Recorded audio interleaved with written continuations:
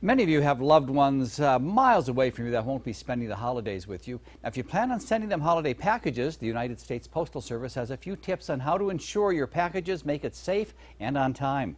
Local News 8's Chelsea Brensel joins us live at the Idaho Falls Post Office.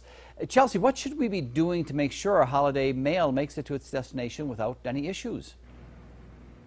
Well, Jay, the United States Postal Service is expecting a 12% increase on the amount of packages that are going to be shipped out just this month. Today, I met up with the post postmaster of Idaho Falls, and he says that when it comes to shipping out your holiday packages, preparation is key. With the hustle and bustle of the holiday season, it's easy to be forgetful. But the postmaster of Idaho Falls, Jim Alvord, says something you don't want slipping your mind is mailing out your holiday gifts. We got a lot more packages going out, so people what they need to do is ship early. For international shipping, you can go online to USPS.com backslash holiday to check and see the last day you can send your package in order for it to get to its destination on time. If you have a soldier overseas you plan on sending a package, you need to get to the post office as soon as possible.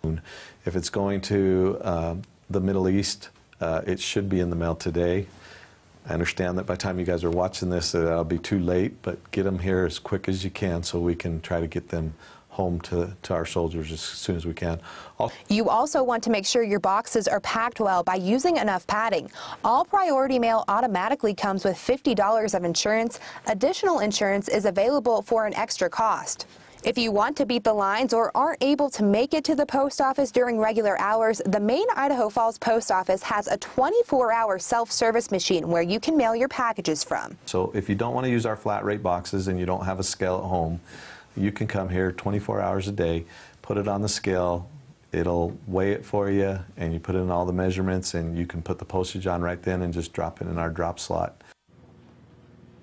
Now, the Postal Service has hired temporary employees to help with the influx of shipping and the new Sunday deliveries. The postmaster here in Idaho Falls says he doesn't want you to be alarmed if someone who isn't in a typical USPS vehicle shows up at your home.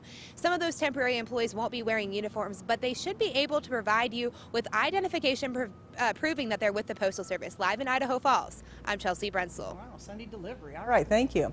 Uh, there is a discount, too, when uh, customers use a large flat rate priority box to ship to those military addresses. And speaking